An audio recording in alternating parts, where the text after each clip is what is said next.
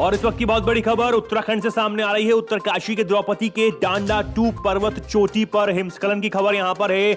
उनतीस पर्वत रोहियों के फंसे होने की खबर यहाँ पर मिल रही है। एनडीआरएफ, एसडीआरएफ, सेना की टुकड़ियाँ और आईटीबीबी यहाँ पर रेस्क्यू में जुटे हुए हैं। आईएएफ ने अपने चीता हेलीकॉप्टर रेस्क्यू ऑपरेशन के लिए भेजे हैं। और खबर यह भी मिल रही है कि अब तक आठ लोगों को रेस्क्यू किया जा चुका है, लेकिन अभी भी एनडीआरएफ, एसडीआरएफ, सेना, आईटीबीपी की जो टीमें हैं, वो अभी भी लोगों के रेस्क्यू के लिए जुटी हुई हैं। उनतीस पर्वतरोहियों के फंसे होने की खबर यहाँ पर मिल रही है। आपको बता दें, द्रौपदी के डांडा टू पर्वत से ये खबर है। पर्वत टू में चोटी पर हिमस्खलन की खबर है और उनतीस पर्वतरोही यहाँ पर फंसे हुए हैं। ये खबर अब सामने आ रही है।